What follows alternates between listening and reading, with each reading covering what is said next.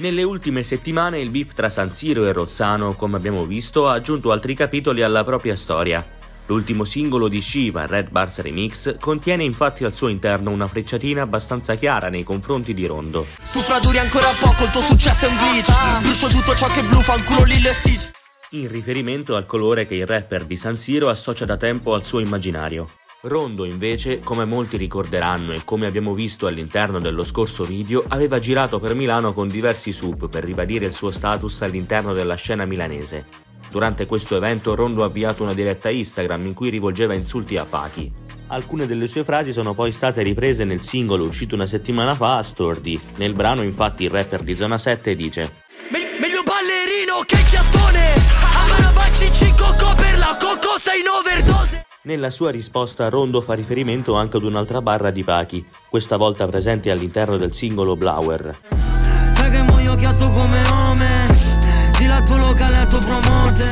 Durante un live di alcuni giorni fa a Catania, mentre era sul palco del One Day, Pachi ha avuto modo di rispondere, lanciando qualche frecciatina a Rondo e più in generale al collettivo di Zona 7. Dopo aver finito di cantare Ti levo le collane, la hit in cui collabora con Gue, il rapper di Rozzano dice qualcosa al suo pubblico, riferendosi probabilmente al rapper di San Siro.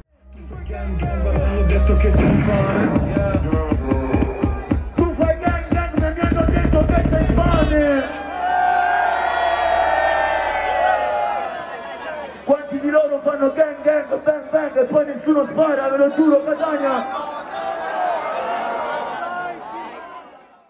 Secondo lui non sono criminali come dicono, ma raccontano storie nelle canzoni, non sparano come vogliono far credere e soprattutto sono da considerare infami. Sempre nello stesso live dal pubblico si alza il coro Chi non salta di San Siro è. Pachi risponde con un gesto abbastanza esplicito facendo finta di urinare tenendo in mano una bottiglietta d'acqua. Chi non salta di San Siro è Eh, chi non salta di San Siro è Eh, chi non salta di San Siro è Fino a questo momento sia Pachi che Shiva avevano ignorato o cercato di fermare questo tipo di cori, chiedendo ai fan presenti ai concerti di lasciar parlare la musica e che queste cose erano inutili. Oh, sì, sì, sì.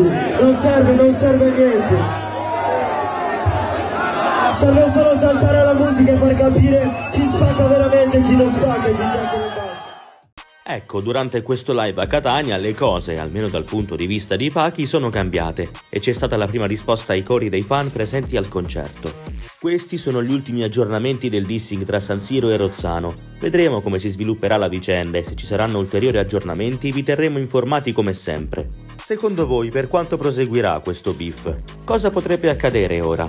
Fateci sapere la vostra opinione con un commento qua sotto e non dimenticatevi di condividere il video con i vostri amici. Ricordatevi anche di lasciare un like se il video vi è piaciuto, di iscrivervi al canale e attivare la campanella per non perdervi le uscite di tutti i prossimi video.